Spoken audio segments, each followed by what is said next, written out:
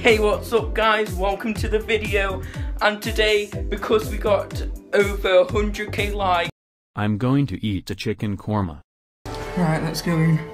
I'm scared, what if they Ate my chicken korma. What? Did you just steal My chicken korma. Wait, hold on. That cretin. How could he do this? I was really excited about my chicken korma. Here we go, we're going to try and find them for the Chicken korma. Let's go find them. Oh, I think someone's around here. Oh, I heard a noise. No. Max. Wait.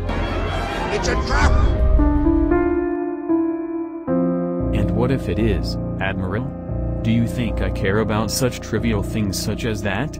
I need this chicken korma, not just for me, but to thank my fans for giving me over 100k likes. I will do anything for it. It means everything to me as well as my fans. However, I believe that a trap doesn't exist because I believe that my Lord and Savior, Morgs, shall protect me from anything. Either way, goodbye, Admiral Ackbar. Yola.